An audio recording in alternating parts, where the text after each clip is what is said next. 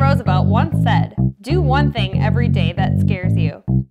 She's one of the most inspiring, badass first ladies ever. So I took her advice, facing my fears, changed everything, and for the better. Now it's your turn. I'm Molly Mogren Katt, and this is Hey Eleanor.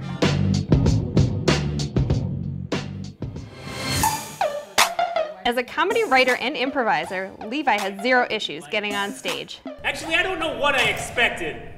All I know is I didn't expect that. However, he secretly always wanted to try dance and martial arts. I guess he feels self-conscious about doing something with his body that isn't about getting laughs. Ah! On this episode of Hey Eleanor, we're killing two birds with one stone. Levi's taking a capoeira class. I'm worried about just feeling really embarrassed. Both like in the room, and then part of my fear is like I'll love it, and then I'll want to do it a ton, and then I'll be that guy who won't stop talking about his Brazilian martial arts dancing. Capoeira is an Afro-Brazilian mashup of fight, dance, rhythm, and movement. It's sort of like Karate Kid meets West Side Story. Capoeira has appealed to me for years and years, but I have always been embarrassed to even try it. You know, like I'll watch a video of someone doing it. I'm like, I'm so excited about this, and I'm very much, I want to do that kind of way. And then immediately I just get embarrassed even by that feeling. Within seconds, we realize all those capoeira YouTube videos make this stuff look easy. There you go. Capoeira isn't a contact sport.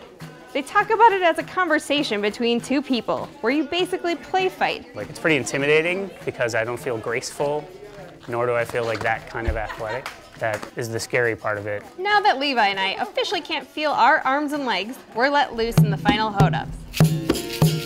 We circle up with a dozen much more experienced capoeira players. I'd say entering the roda is intimidating, but it's not. Everyone is so welcoming, encouraging, and respectful. It's a collaborative environment that thrives on setting up your partner for success. In fact, it's a lot like improv, except for more sweating.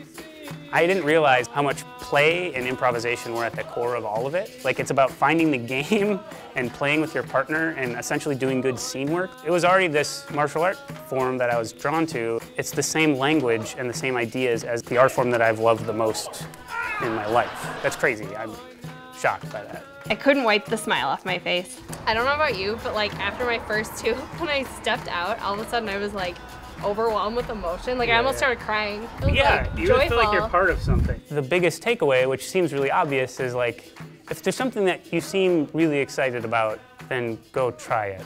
I don't know if I can ever learn that too many times. That other fear that I would be too into it, like that's much more the, the issue now where I'm like, oh, I want to do this again tomorrow.